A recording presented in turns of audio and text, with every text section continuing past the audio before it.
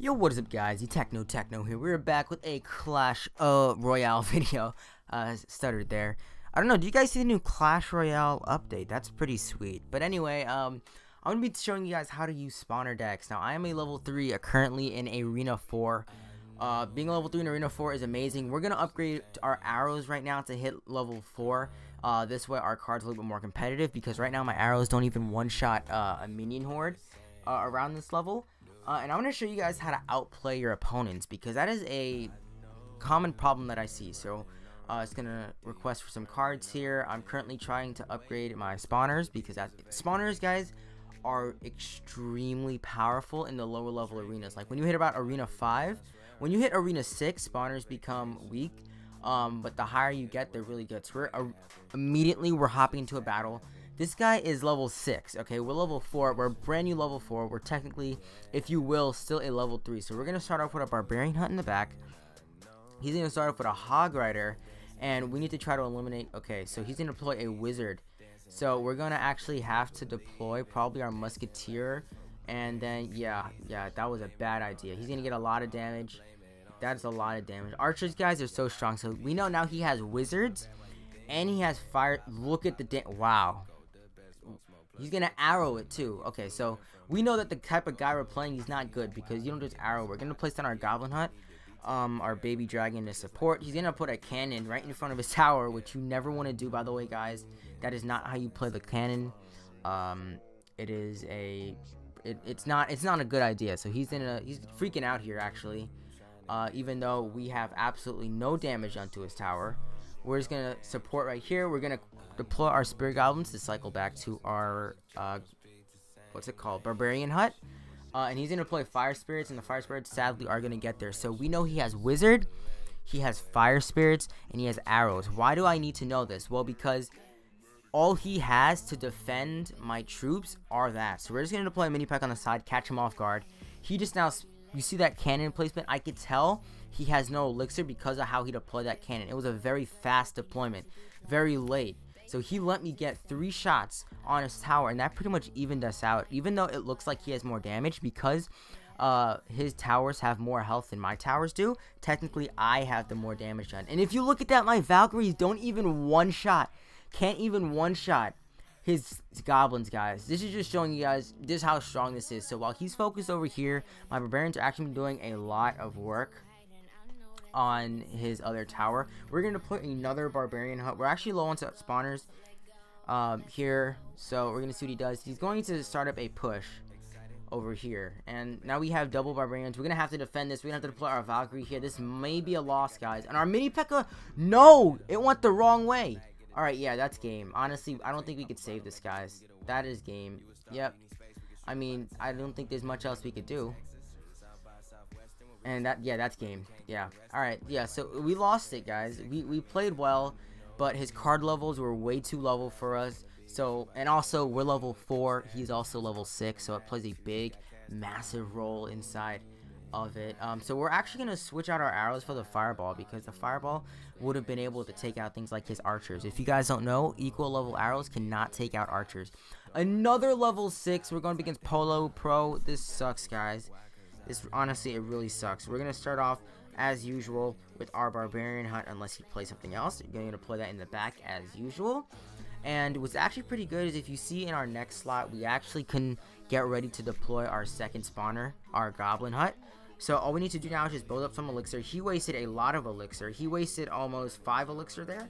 If you notice how long it took him to deploy that. So that was a 5 elixir profit that we have going into the game. He does have a baby dragon, but now we know what he has. What does splash damage? Well, splash damage, if you don't know, is basically damage that is in a area damage radius, um, which it damage more than one troop at a time. So it could damage like five troops at a time depending on the radius. And we need to know this because our spawners are all troops that'll be clumped together in tight radiuses. So his witch has absolutely oh he's gonna start off with an expo. So his witch does great amazing splash damage. One of the best splash attackers in the game. He also has a baby dragon. So he's gonna completely ignore everything. That expo honestly should die. He's gonna deploy a level one prince. We have absolutely nothing to stop that. Honestly guys i don't even know uh, if we can defend that we're yeah we're gonna we're gonna try to defend it he's probably gonna wind up taking that tower still uh 35 hit points left honestly we should take his tower right now yeah, we're just gonna... Yeah, we got this tower. We got it. Stolen. Taken away. Not really sorry. He's gonna play a very late skeleton. He's gonna play his P.E.K.K.A. Wow. Against a spawner? He is so stupid. Alright. Here's one thing that you don't want to do in case you are happening. Okay, you don't arrow. Oh my god. And he he he could have used those arrows to take out my other tower, by the way. Just saying. He's probably going to take out our other tower, so we're just going to put a mini P.E.K.K.A there to pressure. We're going to laugh at him because his P.E.K.K.A got shut down. You never deploy a single target unit like a P.E.K.K.A um, in front of spawners because the spawners will just absolutely destroy it. We're going to play another spawner here, but he does have a witch here. He might actually take down this tower. We're going to have to deploy our Valkyrie, come on Valkyrie, and then the Valkyrie's going to take all that out. We're just going to laugh at him. Uh, and he's not even going to push for the other side. I don't know if this man is going to arrow it or not. It'll on, nope, he's not gonna arrow it. That honestly, it should be game, guys. I'm, I'm not gonna lie. I'm just gonna laugh at him there. All right, this is actually really good. If that mini P.E.K.K.A can get one shot on the tower, oh, did not get a shot on the tower. That kind of sucks. Oh, but we're gonna deploy a barbarian hut, just stacking them up here. He's gonna deploy that. We need to get our Valkyrie over here. Our Valkyrie's gonna deal amazing splash damage again, area damage. He's gonna deploy his prince there. We're gonna laugh at him. Is he going to deploy his arrows? Does he not know he did not deploy his arrows. Dude, his arrows missed our tower. Wow, this guy sucks so much. We're just gonna fireball. That is a BM, a bad move. Again, he is a level 6, guys. So I think we could afford to treat him a little like he's garbage. And we got a magical chest. This is awesome. Can I... That is awesome, guys. Holy crap. That is so amazing. Okay, so we might actually have enough gems to open that. We might open that actually later on um, in the episode. But for now, I'm going to hop, I believe, probably into another battle here, searching for opponent. Here we go. It's going to give me a level 3. Wow, awesome. Uh, is that, is, yeah, okay, so this is actually pretty good, but he's Asian. Don't take this the wrong way. Alright, people, just saying he's OP. So we're gonna start off with our hut in the back. Nice! You see that? We actually, okay, he has a level 2, level 2 giant. Uh, bruh. Bruh! Alright, so actually, we're gonna employ our hut, our goblin hut there. Okay, so we know now he has Bomber. Bomber as one of his main splash targeting defenses. I was gonna deploy my hut there, but because I see his bombers there, honestly, okay, this is actually shaping up to be a very deadly. Alright, that Valkyrie should take all that out. Awesome. That is amazing. Giant's not even going to touch our towers. Honest? Okay, so he's going to defend that. We're going to put on our Goblin Barrel here. That all his splash troops are away. We now know he has Skeleton Army, which is very dangerous, especially after this update, guys. It is one of the most dangerous cards in the game right now, honestly. Log is the best legendary, and this is the one of the most dangerous cards in the game. We're not going to fireball that. Our goblins actually should be able to take that out before he gets to our tower. Okay, he's actually going to deploy that there, so we're going to deploy our musketeer on the side. It is risky because if he fireballs, it's a very valuable fireball. But honestly, I trust my troops, so we're just going to place down another barbarian hut. Uh, because of course they were able to take all that out. Now we have a really big push coming to him. And honestly, right now would be the best time for my man to deploy his Goblin Hut. No, he's going to choose Skeleton Army just as well. He was able to shut down that musketeer. He's, he shut down my push. That was very well played. GG, my dude. Alright, so uh, he's not going to deploy his Bomber. It's a little late. We're going to Fireball here. That is a very valuable fire. I missed the Musketeer. Oh my gosh. That was going to be a very valuable fireball. It was going to be four elixir uh, on our fireball to take out the four elixir musketeer and the three elixir bomber, but we missed it. So technically, that was a that was a very bad trade. If you look on our cycle, our next card that uh, if we cycle to it could actually be the Goblin Hut. So he's gonna fireball. Oh, he's gonna activate my crown tower. Thank you. He just made this easy for me. We're gonna put our Barbarian Hut here. Um, again, pretty simple stuff right there. Okay. Now we just save up Elixir. Honestly, he's spending all this defending. We're just going to try to get some trickle damage. Because after what he did there, some trickle damage is all we need. He's going to go Goblin there. So we're going to go Goblin Hut all the way in the back. Immediately takes down his giant. Should have deployed fireball. That would have been a much better fireball opportunity. But right in here, we're gonna get our fireball ready. We're gonna have to fireball all of this, or unless our troops are gonna be able to take this house, which is gonna be amazing. Honestly, guys, this might be a draw. But look at this.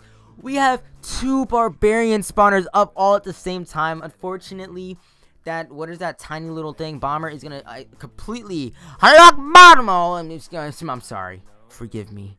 Not really. Um, I don't even know, guys. Honestly, we're getting a lot of trickle damage. We're not to play our musketeer in between our huts. Instead, we're to go for trickle damage. We're to play another spawner. Guys, this just shows the craziness of this deck. We're to play that there. He's to fireball yet again. And then we're to play another barbarian hut, guys.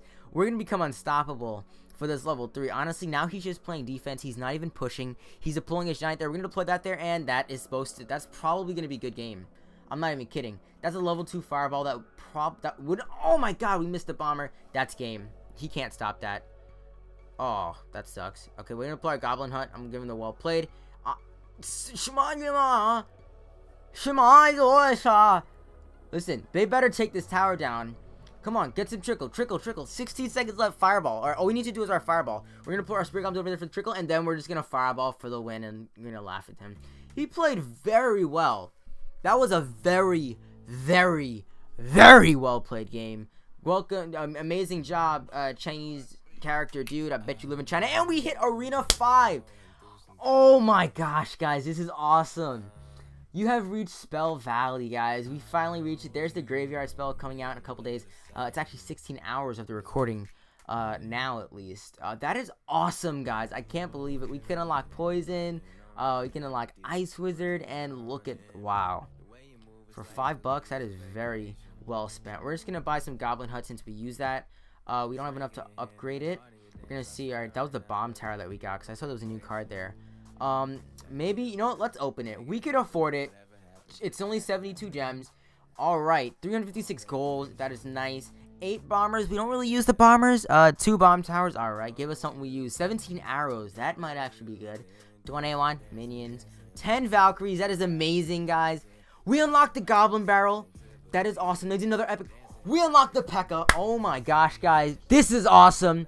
Dude, that, that deserves a screenshot. Do you know how strong we're going to be as a level 4 with a P.E.K.K.A. and Goblin Barrel? We can make a P.E.K.K.A. and Goblin Barrel deck, guys. Holy crap. That is insane. In the next video, guys, I'm going to be having um the P.E.K.K.A. and Goblin Barrel stuff there. Um, I should be getting a super magical chest soon. The only reason why I say that is because uh, if you guys don't know the chest cycle, if you get a magical chest and you wait a little bit, uh, a couple battles later, if you open up like your silver and gold chest that you're gonna get in your crown chest, you could actually get a super magical chest. So hopefully we'll get a super magical chest in the future. We should be getting a super magical chest in the future. Again, if you guys do the promo, it really help a lot. Um, thank you guys again so much for watching the video. I just want to say, peace out.